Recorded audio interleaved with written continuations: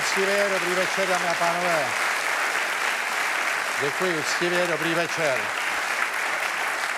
Děkuji uctivě, dobrý večer, dámy a pánové. Blíží se nám 28. říjen, státní svátek naší republiky, lépe řečeno Československé, z které vznikla naše. A já si myslím, že ten svátek je obzvlášť důležitý, čím dál důležitější, protože, abych řekl za sebe upřímně, mám určitý obavy o demokratický vývoj v naší zemi. Já si nic jiného nepřeju, než abychom byli demokratická, tolerantní země, pokud možno prosperující. A napadlo nás včera, že možná by bylo hezký přání zkusit, aby tady řekl ještě někdo jiný než já, který se chystá na oslavy 28. října v Pražském podhradí, nebo jak se to nazvalo na staroměstském náměstí, ale aby to řekl ještě někdo jiný než já, když je to státní svátek uh, republiky. A tak jsme si řekli, že zkusíme včera obvolat významné osobnosti našeho společenského politického života a dáme jim příležitost, ať tady řeknou jednu větu, dvě, stručně, pokud možno, co chtějí říct ke svátku téhle republice. Když jsme si to rozhodli včera, tak znáte to, nikdo nemá čas a tak dále. Nicméně zkusili jsme to. Byli jsme zvědaví, jestli někdo přijde. Přišli. Dámy a pánové, prosím.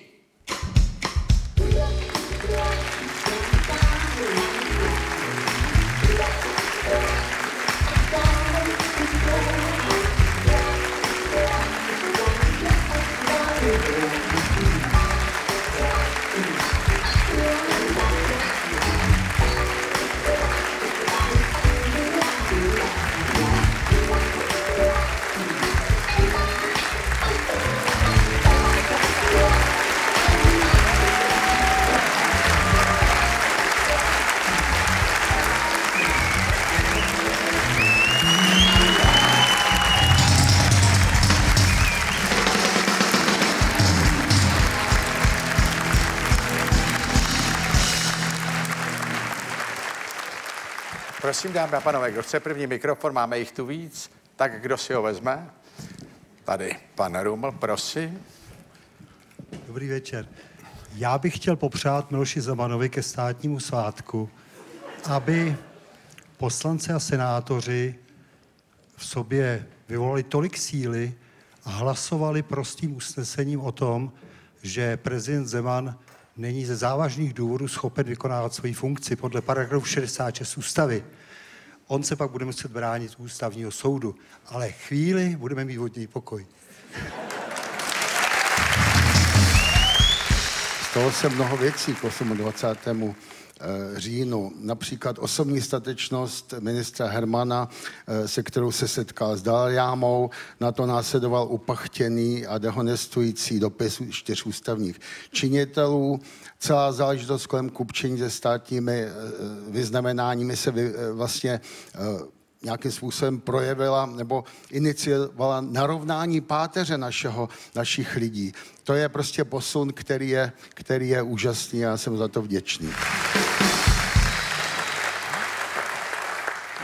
Dobrý večer.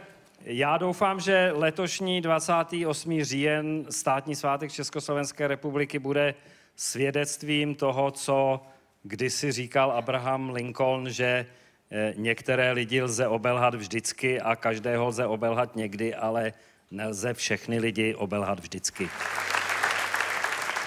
Neměli bychom si nechat právě ten státní svázek zkazit tím, že se budeme stále upoutávat výroky Miloše Zemana. Je to již starý muž, má právo na sebe upozorňovat. Já se uh, bojím, že to tak snadno nepůjde a myslím, že bychom si mohli dát uh, k státnímu svátku závazek, že každý eh, přesvědčíme aspoň jednoho, nejlépe dva Zemanova voliče, aby ho už příště nevolili. My v Dotaptap jako nejpomalejší auta v koloně už delší dobu jedeme na vlně černého humoru a já jsem našel na Facebooku u svých přátel takovou básničku, která to, myslím, schrnuje a ta se jmenuje Nejvyšší meta a zní to, eh, co je nejvyšší meta, když mentál nedá metál. To se mi líbilo docela. A jinak jsem chtěl, ještě jsem chtěl poprosit všechny poctiví a pracovitý lidi, aby to nevzdávali, protože dobrý příklady fungují. Díky.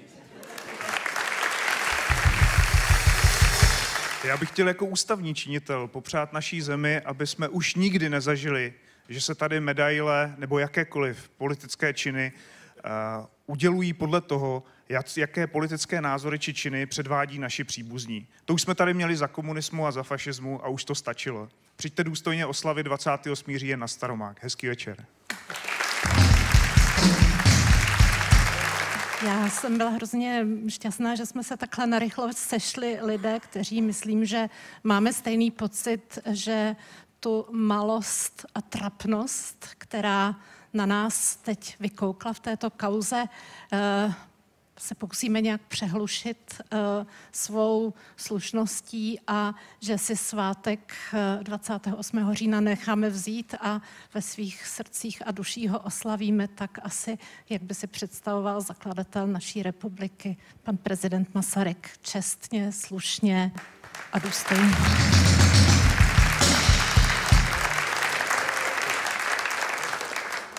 Miloš Zeman, eh, dobrý večer, eh, ve své předvolební kampani sliboval, že bude stmelovat společnost a ono to vypadá, že se mu to nakonec možná i podaří, že i jaksi stmelí eh, Eh, stmelí proti sobě, protože podle všeho i ti, kteří mu jeho předvolební sliby uvěřili, se od něj začínají pomalu odvracet, protože se vlastně v podstatě svým způsobem strapňuje už i před nimi. Já bych se jenom dovolil uh, ocitovat uh, kousek závěr rozhovoru, který jsem viděl s panem Bradym, kde řekl na otázku, co je nejhoršího, co může nejhoršího potkat společnost, řekl, že to je nespravedlnost, která se děje za souhlasu mlčící většiny, tak to je ten důvod, proč jsme přišli.